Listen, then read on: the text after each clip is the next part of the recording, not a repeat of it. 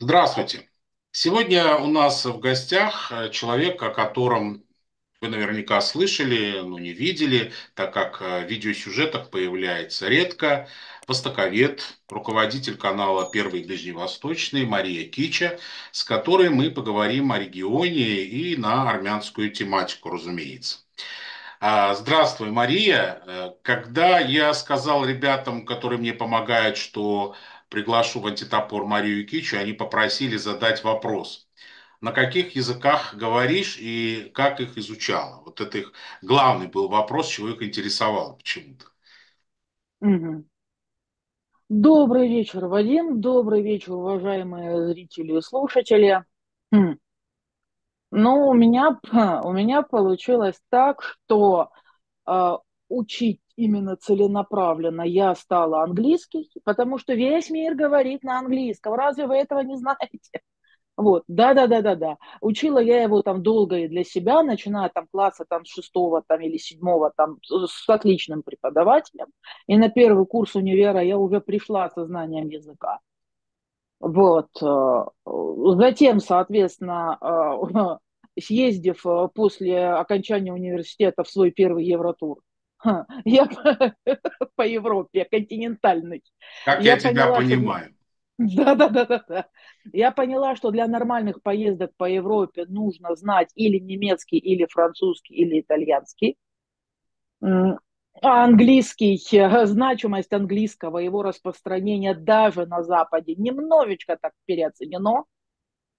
А, И, соответственно, я как человек ленивый начала учить итальянский. Благо у меня была, да, да, благо у меня была знакомая, которая его прекрасно знала. Вот, но Но потом меня просто перебило в сторону Ближнего Востока. Итальянский, итальянский там не особо распространен. Разве что в. Эфиопии, в Эритрее. Да, может быть, где-то в районе там Ливии, куда я еще не доехала, к сожалению. И я поняла, что все равно, так или иначе, арабский, турецкий, но это, это, это надо учить. Потому что в противном э, случае я буду я буду вечно чужая, я буду вечно какая-то там обманутая туристка, я особо никуда не доеду. А, И в принципе, ну, в принципе, это надо. Если ты занимаешься регионом, если ты по нему очень много катаешься, то почему бы и нет? И у меня изначально появи- получилось так, что я а, хорошо снимаю на слух, поэтому а, арабский я просто начала учить, что называется, на улице.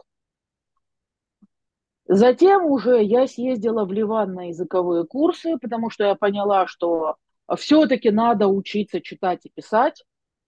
Вот, полтора месяца учила алфавит, прокляла все на свете, решила, что это безнадежно.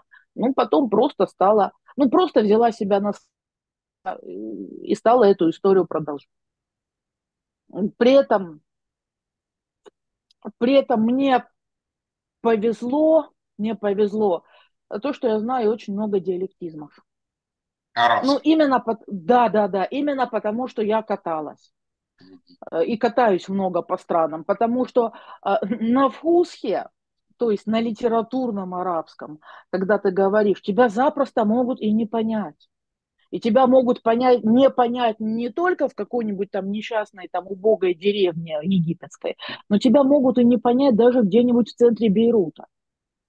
То есть мы когда были там на языковых курсах в Ливане, мы гуляли по Бейруту, и мы с ребятами, с арабистами, поставили такой эксперимент, мы там приставали к людям и спрашивали у них там на футке какую-то ерунду, там, как пройти библиотеку. Представьте себе, стоит около салона, центр, центр Бейрута на минуточку, Парижа, Ближнего Востока некогда, Э, стоит под салоном красоты, стоит ливанка, вся из себя, вот такие губы, там волосы, вот такие ногти, она стоит, курит, там декольте, все дела. Мы у нее что-то спрашиваем на фусхе, она начинает дурным голосом вопить на всю улицу. I don't speak фусха.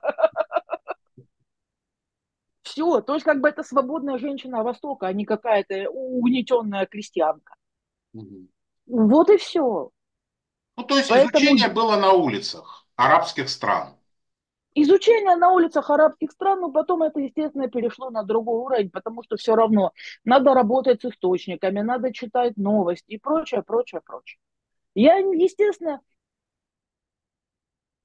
у меня там идеальный арабский язык, уж тем, уж тем более фусха, уж тем более идеальное произношение, да, конечно, нет, но мне этого хватает. И все равно, когда ты этим занимаешься, ты прокачиваешь. Так, итак, мы имеем, значит, что английский, итальянский, турецкий, арабский. Ну и не только. Есть так, Бухара, что да. еще? Есть э, иврит и есть армянский. А, вот так вот. А армянский да. как, где изучала? Это базовые настройки. Угу. Это базовый интерфейс. Ну, тут надо сказать, что у тебя же еще и армянские корни тоже. Да. Да. Ну, ну дома говорили по-армянски? Да. Угу. То есть его можно сказать, э, армянский можно сказать как второй родной язык тоже. Кстати, не сложно mm было его изучать? Mm, ну, я даже не знаю, потому что, э, потому что, потому что, потому что, ну, в принципе, это то, что у тебя есть с самого начала. Угу. То есть я не спорю, сейчас, например, у меня кошмарное армянское произношение, то есть, ну, угу. такое, у меня чисто, у меня такое чисто русское армянское произношение, произношение, скажем так. Вот, но тем не менее. Ну, ну, знаешь, я хочу сказать, вот э, твоя фамилия Кича, Кича переводится с армянского Кича. разговорным, да, как мало. Но учитывая, что ты полиглот, то подошла бы фамилия, наверное, Шата. Много. Такой вопрос. Как оцениваешь происходящее в Армении? Вот что приветствуешь, а что нет? Вот очень интересно было бы узнать твое мнение. Мне кажется, что, э, ну, во-первых, я стараюсь такую там моральную либо эмоциональную оценку каким-то процессам не давать. Потому что я не конструирую какую-то идеальную реальность. Я стараюсь, э, я стараюсь понять, что происходит на самом деле, и по возможности, если я вижу такой шанс, я стараюсь что-то спрогнозировать на будущее. Но это опять-таки не потому, что вот мне так нравится или мне так хочется. Например, ситуацию с Арцахом, ну, я понимала, что, в общем-то, так и будет. Но в то же время, а, в то же время я прекрасно понимаю, прекрасно знаю, что такое Арцах. И я не думаю, что вообще на Земле есть армяне, хоть один, который бы желал такого э, исхода. Ну, по крайней мере, вот такого промежуточного результата, скажем так. Вот, поэтому, поэтому мне кажется, что все равно то, что происходит, надо стараться оценивать максимально с холодным носом, иначе, ну, иначе это просто уже не исследование, иначе это не аналитика. Иначе это там пропаганда, там розовые там какие-то там пони, дворцы там на, на песке и все что угодно. Относительно, относительно Армении, мне кажется, что ситуация складывается та, которой я э, говорила достаточно давно. Э, Армения из российской орбиты уходит. Можно это расценивать как хорошее событие, можно это расценивать как плохое событие, можно на эту тему злорадствовать, что в принципе мы в соцсетях э, наблюдали уже и периодически наблюдаем регулярно. Ну, мне Причем кажется, наблюдает это, это а с двух сторон, и со стороны России, и со да. стороны Армении тоже. Да, то есть на самом деле, на самом деле, в принципе, ну, знаешь, чисто по-человечески, ну, как-то жалко, что все вот так вот происходит. И на самом деле жалко, что вот, ну, скажем так, было то, что было. Потому что э, Армения сама по себе, э, она безумно пророссийская, по крайней мере, вот была до недавних и там Ереван это, это один из тех городов, где гигантское количество там вывесок на русском языке. И где на самом деле там никто, простите меня, там не выпендривается, а в том плане, что я не говорю по-русски. Speak English, please. Потому что там в ряде там советских республик, в том числе и там соседних, ну, бывших советских республик, в том числе и соседних. Я это наблюдала. То есть я не говорю, я не говорю там про какую-то молодежь, которая действительно там знает свой национальный язык и там знает э, английский. А русский уже прошел мимо них. Я абсолютно не, не имею в виду таких людей. Я имею в виду людей, вот, которому ты говоришь что-то по-русски, он на тебя смотрит, ты по глазам видишь, что он тебя прекрасно понимает, но speak English, please. Причем по-английски, причем по-английски он говорит, я не знаю, там еще хуже, чем по-русски. Ну, ну реально. А, знаешь, Поэтому я, у нас грустненько все это на самом Я деле. дополню не только Армения, но а, я очень удивился, что и армяне, которые проживают на Западе, в большинстве своем были тоже всегда пророссийскими. Да, именно. Да, а армяне, которые в России живут, они вообще, по-моему, пророссийские на 200%, если не на тысячу. Поэтому...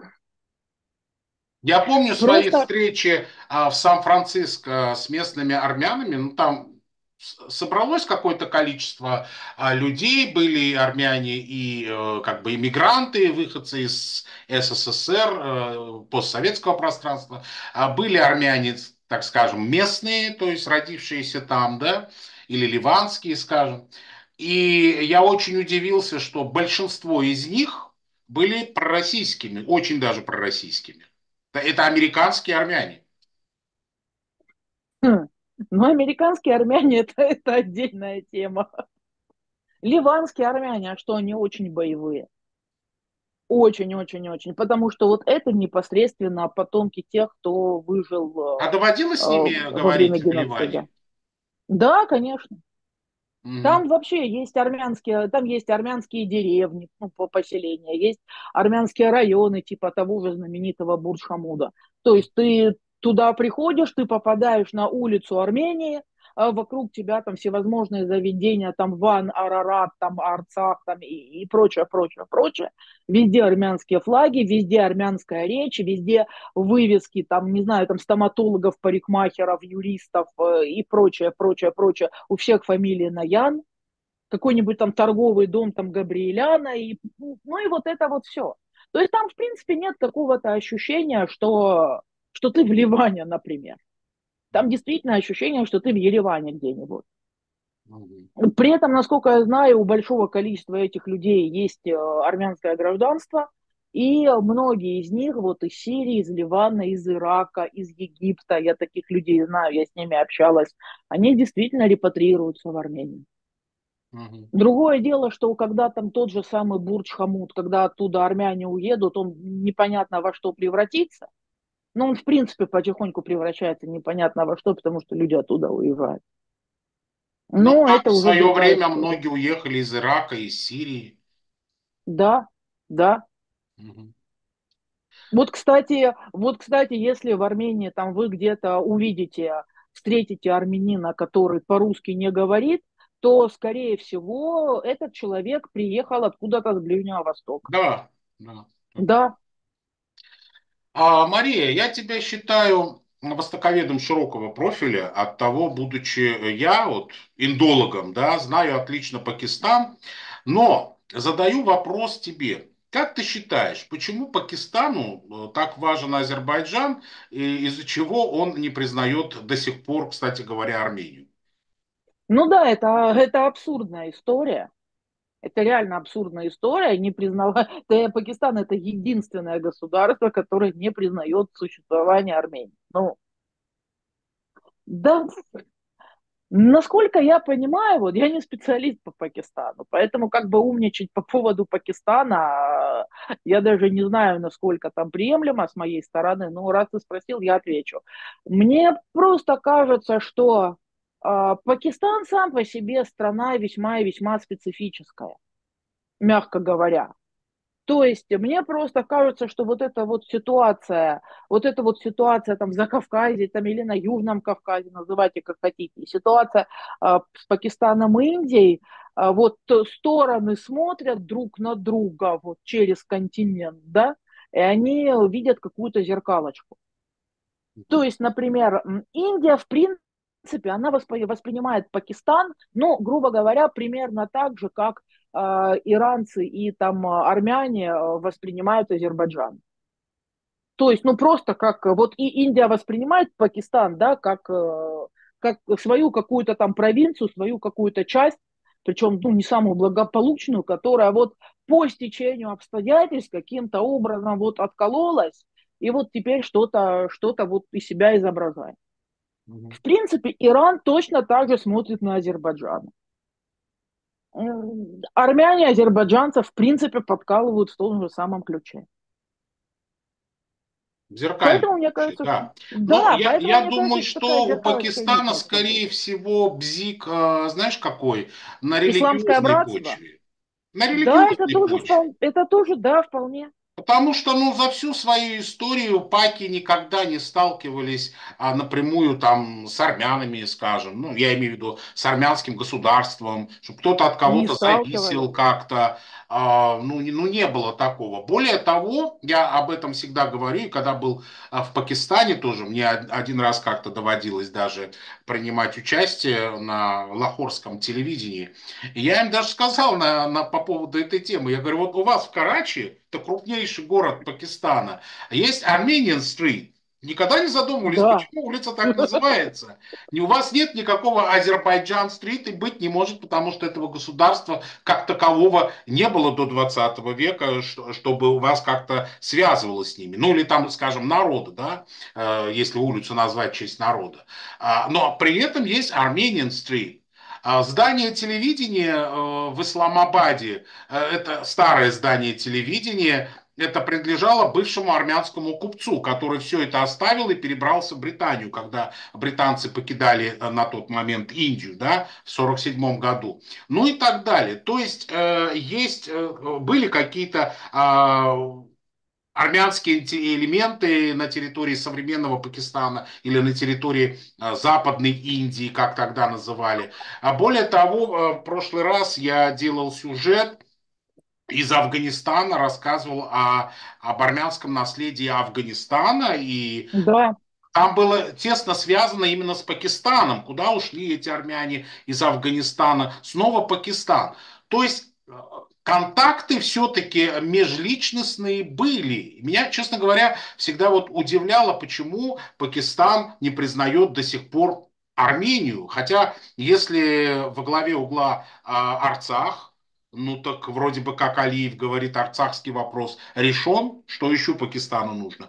И вот я думаю, скорее всего, на религиозной почве не более. Хотя Азербайджан утверждает всему миру, что э, о религии вообще не имеет смысла говорить, потому что война это за Карабах э, не на религиозной почве. Но я-то тоже езжу по восточным странам, и я вижу, кого Баку принимает при этом, там мусульманскую лигу всякую, да, э, число там исламских государств, там, ну, свыше двух десятков было точно в Баку, э, где Алиев и его министры уговаривали, чтобы те не торговали с Арменией из-за Карабаха. Ну, это еще было до 2020 года. То есть все-таки религиозная тема присутствует, и я думаю, что как раз Пакистан по этой части. Да ее не может не быть, потому что когда речь идет о подобных конфликтах, взять и вот конкретно провести грань, а вот здесь национальная, а вот здесь религиозная, а вот тут нет такого фактора, а вот тут он есть, но мне кажется, что это практически невозможно. А потому а что если мы... такого нет? Почему христианам бы не вопить, спасите, помогите, э, братья во Христе? Нас мусульмане убивают. Слушай, ну а что, э, на восточным христианам это сильно помогает? Ну, Ведь я и говорю, ближнем... у христиан вообще этого нет. Хоть у восточного Ведь христианства, на... хоть у западного христианства. Ведь реально на Ближнем Востоке христиане так или иначе, но заканчивают. Они оттуда уезжают, потому что им там плохо, их там угнетают, а, их, их убивают, там, разрушают их храмы и прочее, прочее, прочее. Причем мы это наблюдаем повсеместно. Мы это наблюдаем в Ливане, мы это наблюдаем в Египте, мы это наблюдаем в Сирии. А, Сиси, конечно, президент Египта, он, конечно, молодец, что вот он распорядился там, ну, он же, он же любитель строить города. И он э, распорядился в каждом новом городе, ну, построенном, в каждом на районе этого города строить коптскую церковь. Угу. Ну, потому что до этого везде там мечети, мечети, мечети, а вот теперь мы будем обязательно строить коптские храмы. Э, такая, такая, казалось бы, классная, толерантная, мультикультурная инициатива, да, и коптов там в Египте немало. Почему бы и нет? Но египетское правительство, египетские власти не в состоянии и, в общем-то, судя по всему, и не имеют желания этих самых коптов защитить. Потому что история, когда там похищают коптскую девушку, заставляют ее принимать ислам, потом отсылают там видос родителям, где уже там никях сделали и все, она уже там замужем. И все, полиция, полиция на это не реагирует. Абсолютно. Ну, там это только начало, а вот я был в Судане а, в 2021, по-моему, году, это был ковидный год, помню, а, там уже и армяне местные, и копты местные, э, можно сказать, в Красной книге. Армян остается, оставалось, ну, тогда, когда я был, 15 а, человек, учитывая, что за это время две женщины, насколько я знаю, э, с голоду умерли там снова начали, началась гражданская война, вот, по-моему, год или полтора mm-hmm. назад, после моего приезда, mm-hmm. снова начали стрелять, и э, была там очень пожилая женщина, армянка, с ней э, была сиделка тоже армянка, ну, взрослая тоже женщина, ей под 70, и та, что инвалид, ей было вообще под 90. И вот они закрылись, э, питались запасами, никуда не выходили, и запасы у них закончились, и обе погибли. Это вот я ну, знаю ну, из тех 15. А коптов так вообще их там насильно обращают в ислам. Армян-то не трогают, но коптов насильно обращают. Потому что в отличие от армян, копты, они более такие цветные, э, ну, суданцы, они же разные как бы, да, есть ну, да. прям сильно черные, да, да, а есть такие коричневатые. Вот копты ближе к ним, поэтому коптов они считают своими э, как бы африканцами, местными жителями, и их э, активно обращают в ислам. А армяне все-таки для них это более такой европейский народ, у них квартал даже находится, армянский квартал в Хартуме, а там, где посольства разных государств, хорошо охраняемая зона, но когда вот начинаются перестрелки, а даже эта зона тоже попадает под раздачу. Да. На чем мы остановились-то? Я почему-то... А, на этих э, коптах в Египте. Угу. А, хорошо. Вопрос еще такой. Это по поводу э, той нашей предыдущей темы Пакистана-Индии. А я не знаю, следишь ли ты э, над тем, э, что происходит вообще в социальных сетях, да, и вообще э, пропаганды со стороны Баку. Но вот в последнее время а, там муссируются такие слухи, я не знаю, ну даже кажется, кажется даже, что это не столько слухи, сколько на научном даже э, методе, на научной методике, что якобы армяне выходцы из Индии, это в Баку так говорят. Да, я слышала эту теорию. А, а откуда вообще это все берется? Вот есть где-то вот нити какие-то? Я вот, например, ну, не попадаются мне азербайджанцы более серьезные, с высшим образованием, чтобы узнать у них хотя бы откуда они это берут. Может, действительно где-то кто-то об этом написал и забыл. Слушай, я э, единственное, вот, кстати, вот единственное объяснение, объяснение, которое я слышала, это, ну, армяне как цыгане, вот они из Индии. Да, э, это понятно, но почему из Индии меня удивляет? Ну, я же тебе говорю, здесь, видимо, попытки провести там параллели там с цыганами. Именно с цыганами? Ну да, ну в смысле вот такие вот там безродные, без, э, без культуры, без мультуры, без, э, без особых симпатий там со стороны там других народов. Короче, кочевники. Кочевники? Кто бы говорил. Мария, как ты думаешь, а, вот когда я еще особо не разбирался в этих ВКонтактах и прочих социальных сетях, но только начал разбираться вообще в компьютере, в интернете, я долгое время был чайником в этом деле. И мне было очень интересно заглядывать э, в архивированные всяко разные справочники, словари, источники, ту же Википедию, да. А было интересно читать э, о странах, народах, э, что пишут, что писали когда-то в стародавние времена. Ведь сейчас же многое оцифровано, сейчас все можно найти и прочитать. Ну да. А, скажи, почему пропагандисты этого не делают? Либо делают, может быть, но вслух об этом не говорят. Просто когда я слышу, что они говорят и пишут об армянах, мне хочется задать вопрос. Слушайте, но все же в открытом доступе и не армянами писанное. Даже если армянами писанное, там в пятом веке, в седьмом веке, но это же только доказывает, что а, есть культура у этого народа, есть прошлое у этого народа и довольно-таки глубокая история у этого народа. Вот что мешает пропагандистам вот э, сделать то, что я сейчас сказал о себе? Слушай, ну пропаганда любая, абсолютно любая, да, она есть у любого государства. А, она как таковая, как явление, она не нацелена на то, чтобы установить какую-то истину, донести какую-то истину, докопаться до какой-то истины. Она нацелена, при этом я сейчас говорю говорю о пропаганде в том смысле, вот в котором мы ее сейчас все в большинстве случаев понимаем. Потому что в широком смысле под пропагандой можно понять, там, понимать, я не знаю, там, и там э, призывы там, к распространению каких-то полезных привычек, например, пропаганду там, здорового образа жизни, да. То есть mm-hmm. пропаганда там сама по себе не означает априори что чего-то плохого автоматически. То есть пропагандировать можно и хорошие вещи.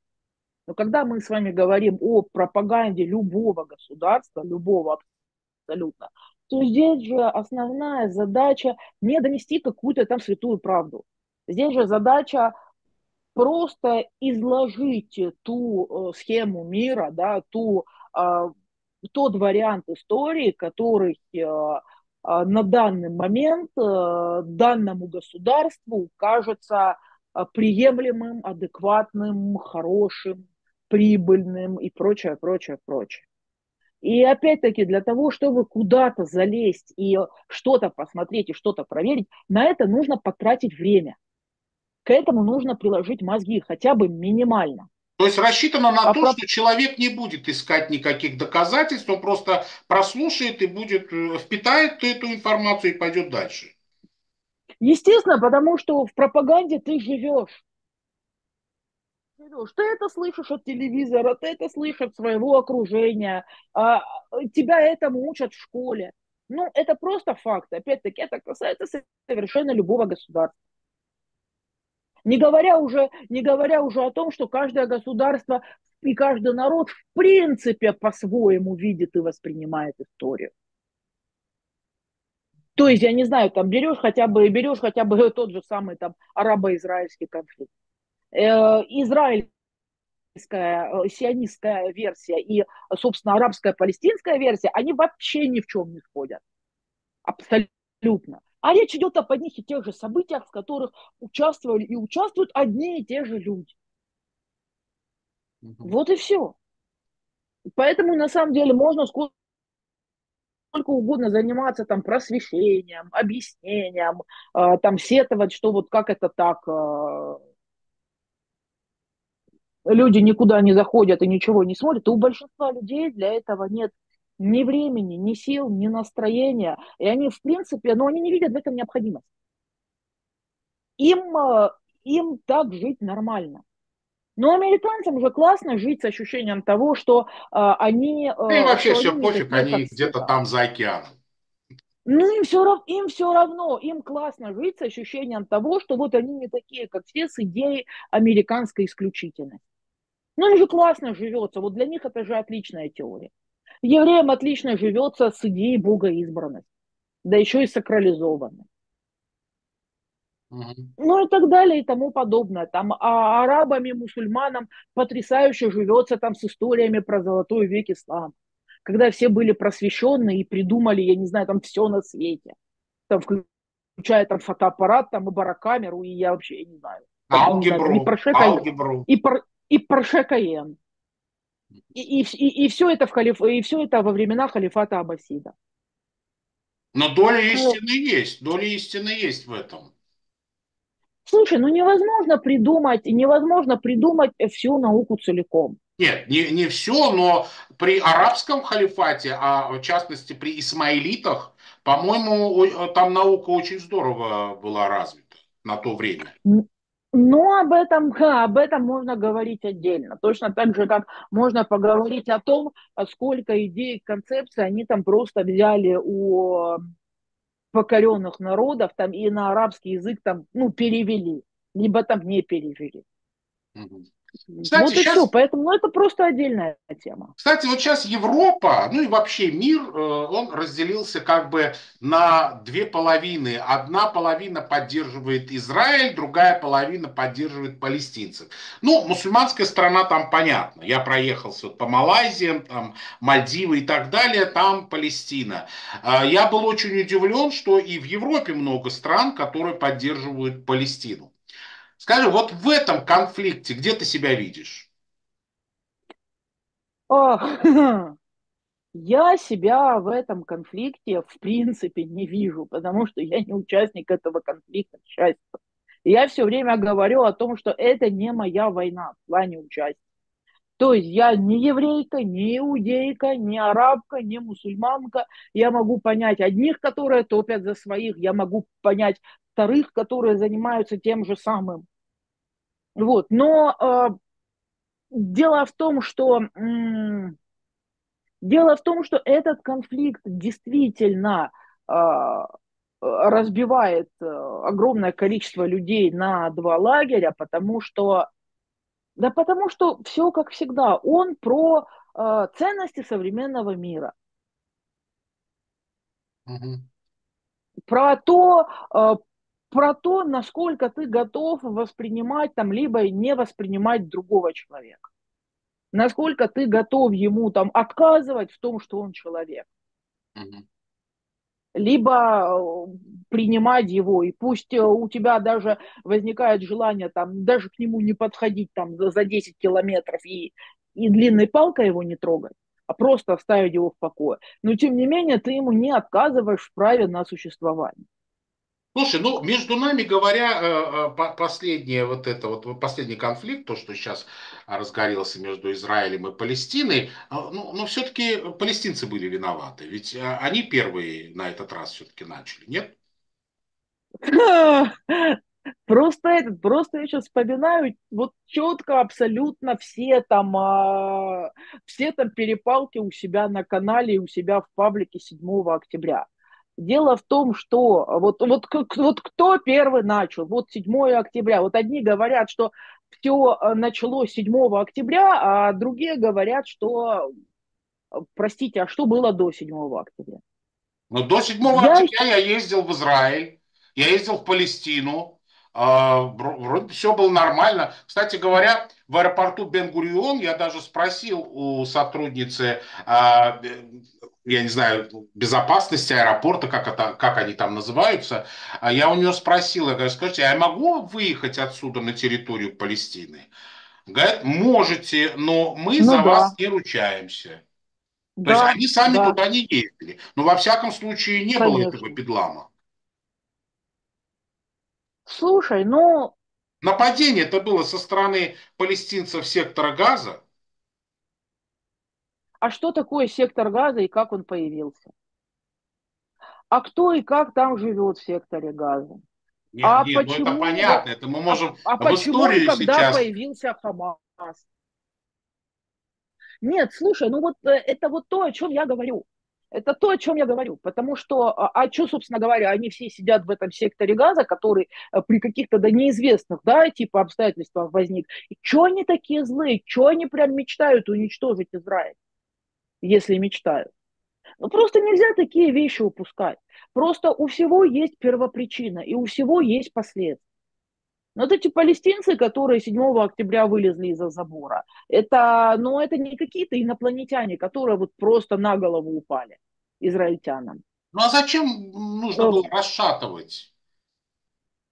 А подожди, а в смысле расшатывать? А в каких условиях они жили в секторе газа?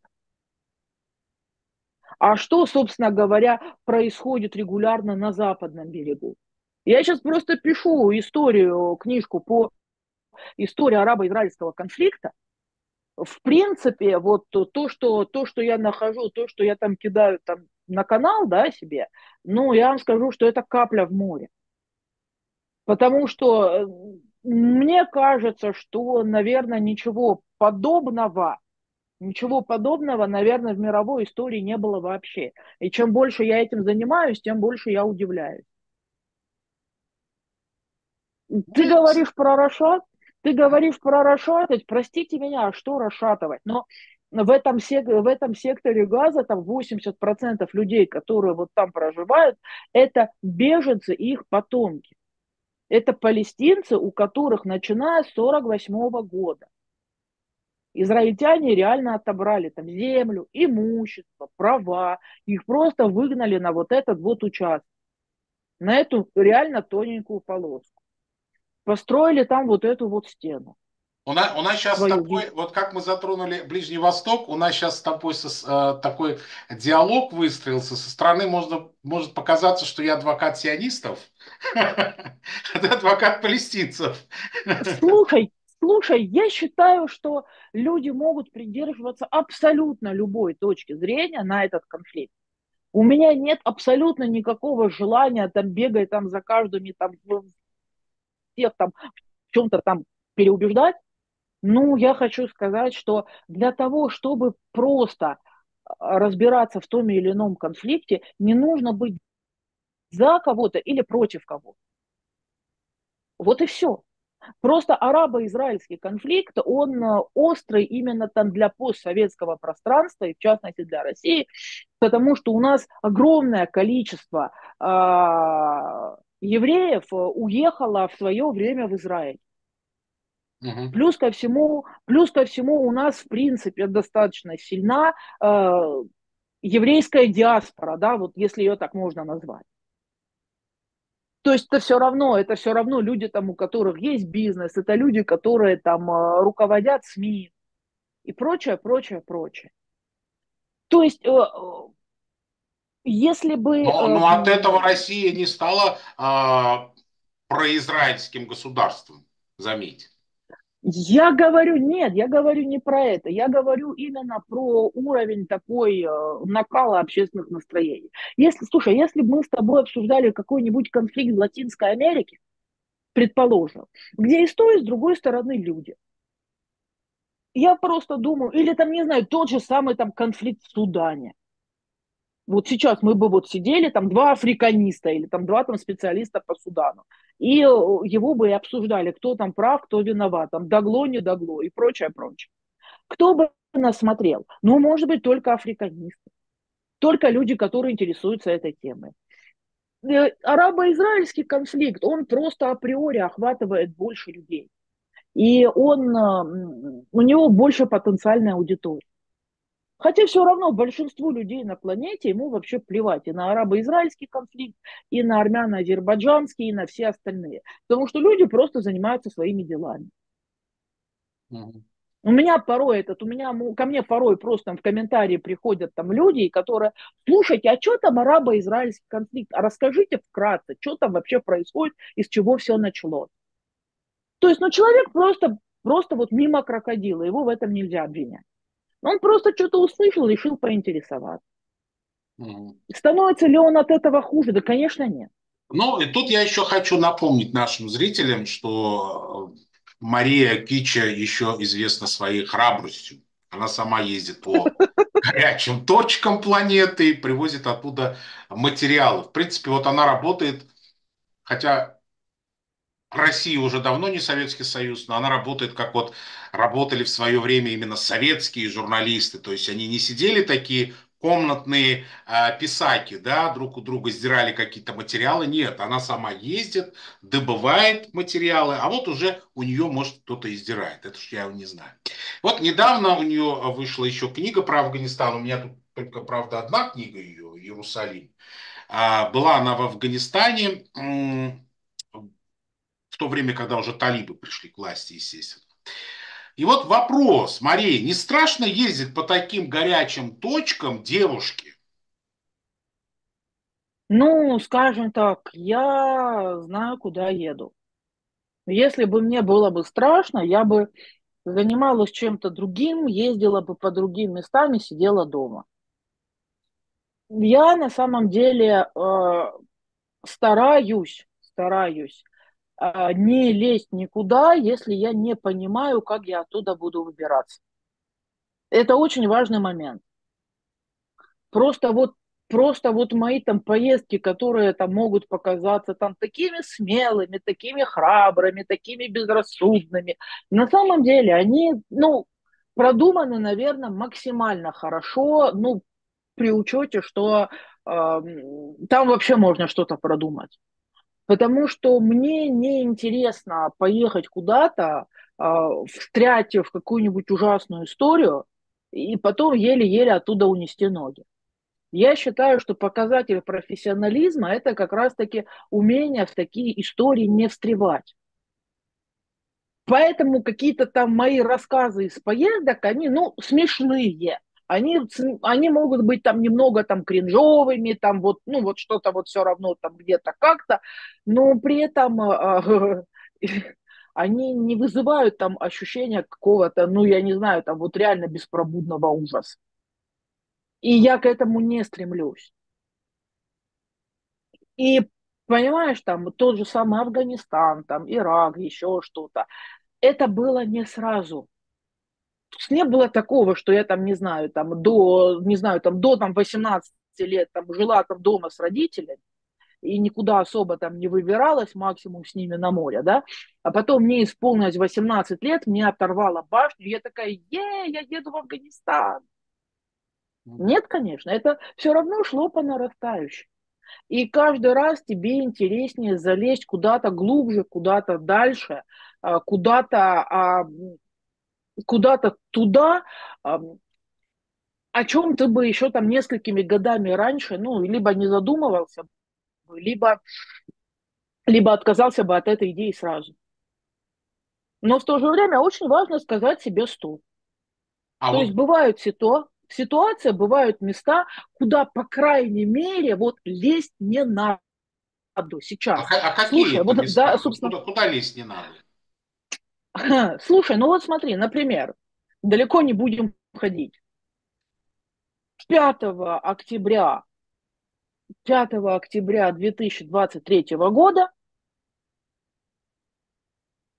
должно было начаться мое недельное пребывание в секторе Газа. А, для того, чтобы, причем легально, естественно, не, там, не через туннели Хамас, ничего подобного. То есть эм, тебе нужно было, для этого тебе нужно было получить разрешение и у Хамас, и у Израиля. Ну, у Хамас, потому что это власть в секторе Газа. Угу. Вот, получить разрешение, получить разрешение и там, и там, это, знаешь, как акция кроссовки инвалидам. То есть вот принесите справку о том, что э, у вас есть справка. А мы вам не выдадим разрешение, пока вы не принесете нам там разрешение с другой стороны, говорят обе стороны. Одновременно. То есть, ну, на самом деле, это тот еще квест. Я, я подняла на уши кучу людей. Я вообще дернула всех, кого, кого я только могла дернуть. Мне в итоге выдали это разрешение, а, чему я была несказанно рада. Вот я реально там хотела, ждала и, и т.д. и т.п. И я, значит, сажусь искать билеты и вообще, ну, пытаться сообразить, как я туда там поеду и каким образом, при том, что, естественно, я знаю регион, там, я понимаю, через какие, какие КПП я могу въехать, я не могу въехать. Вот, ну, я начинаю смотреть, и у меня, знаешь, и у меня внутри просто что-то начинает орать. Тебе туда не надо, тебе туда не надо. Все. Вот я просто сижу за компом, за компом, там пробиваю какие-то билеты, какие-то маршруты, а у меня просто все из рук валится. И мне постоянно что-то мешает. То есть то я, то, то мне кто-то начинает звонить, причем с какой-то ерундой, там, как, просто какой-то бред. То я не знаю, там, я там на какую-то онлайн-игрушку отвлекаюсь, и я просто залипаю в нее на три часа, хотя мне надо билеты искать. А я сама по себе человек достаточно собранный и организован. То есть, ну, я не тот человек, который, ну, вот постоянно на что-то отвлекается. Потом у меня вообще начинается дикий трэш, у меня начинает собакин выть. Он просто воет. Он просто воет, у него пасть не закрывается. Мария, скажи, а доводилось бывать э, в Баку? Да, Даже да, так, один раз я была. Да, неожиданно. Да. Давно? М, да, да.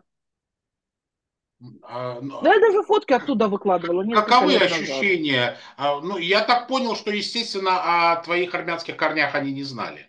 Иначе бы туда не попало бы, наверняка. Я туда поехала, да это было, да, еще было, по-моему, до двадцатого, я не помню сейчас, но это давно было. Я туда поехала просто обычно, как турист. М, Фотки как бы у меня оттуда тоже, что называется, самые туристические.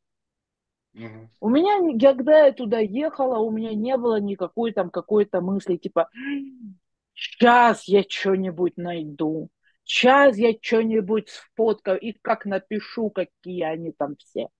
мгм. Не такие. Я, в принципе, я, в принципе, люблю путешествовать. Я, в принципе, понимаю, что если ты куда-то едешь, если ты куда-то едешь, ну просто, что называется, веди себя нормально. Все. Да, но если бы у них, э, они бы знали бы, а, что, что у тебя есть армянская э, кровь, то, мне кажется, вряд ли бы ты туда доехал, потому что примеров очень много.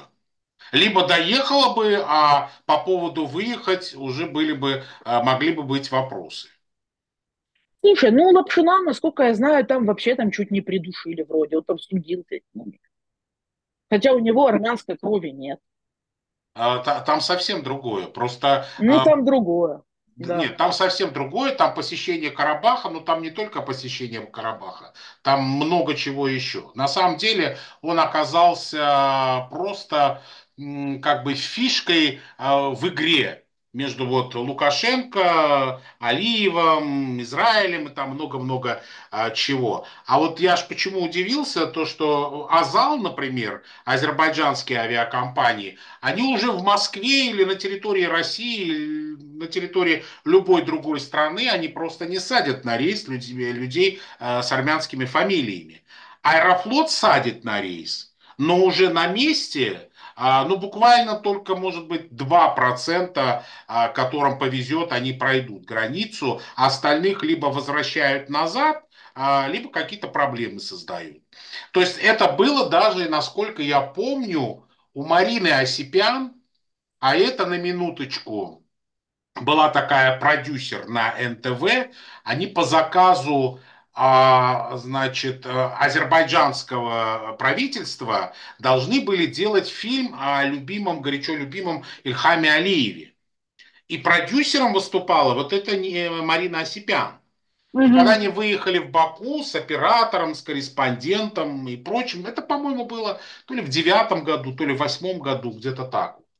И что вы думаете, их пропустили, все нормально, но потом пришли в гостиницу, и Марину выпроводили назад, говорят, извините, вам небезопасно здесь находиться, вам нужно покинуть Азербайджан, мы вас проводим в аэропорт. Он говорит, да вы что, я вообще-то продюсер того, что мы сейчас будем делать. А, ну, нет, вот э, велено вас э, сопроводить назад. И вот она оставила своего оператора, своего корреспондента, сама вернулась в Москву. Это правдивая история, я не э, как-то рассказывал даже несколько лет назад. Да, я тоже знаю, что я тоже знаю, что людей с армянскими фамилиями там не пускают. Да? Поэтому вот э, Кича все-таки, или как, Кича правильно, или Кича? Кича. Кича. Кича. Ударение Да, на после. Это, вот все-таки да. фамилия тебе тут оказала такую до, добрую услугу на посещение Баку. Хорошо. А, еще такой вопрос. Я думаю, будем закругляться уже по поводу твоих книг. Потому что ты еще пишешь книги. Мгм. где их можно будет приобрести. Вот одну я уже читаю. Ты мне подарила Иерусалим. Я ее уже читаю. Правда, недалеко ушел, где-то, по-моему, на сороковой странице. А, ну, обычно я перед сном книжки читаю. А у тебя есть еще другие. Где их можно приобрести, если кто-то пожелает? Книга, я знаю, у тебя есть про Афганистан тоже недавно она вышла. Что делать, куда обращаться? Мгм. Ой, да их можно, их можно много где купить. Они выходят в Бомборе, это научно, это научно-популярное издательство Эксмо, ну, подразделение Эксмо. Поэтому их, в принципе, можно найти и в обычных магазинах, там, там, в том же самом там, Читай-городе, например, а, и в интернете, там, по на всей стране, в Озоне. России они есть. Да, на постсоветском пространстве тоже мне люди присылали, там, и из Казахстана, и из Азербайджана, и из кучи мест. Мгм. Поэтому, да, все это спокойно продается. И на самом сайте там Бук24 тоже. Но Мгм. это, это, э, это не редкость. И нет какого-то там конкретного адреса, куда вот и туда, куда за этим надо пойти, потому что нигде больше ты этого не найдешь. Хорошо, и для завершения, куда мы держим путь, э, я имею в виду, Мария Кича держит путь в ближайшее время? Неужели к йеменским хуситам или... Я б съездила на самом деле.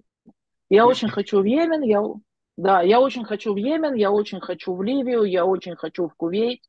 Вот, пока ни туда, ни туда, ни туда из-за проблем с визами не получается.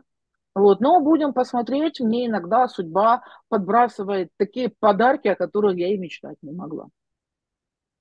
В плане поездок. Да и не только в плане поездок.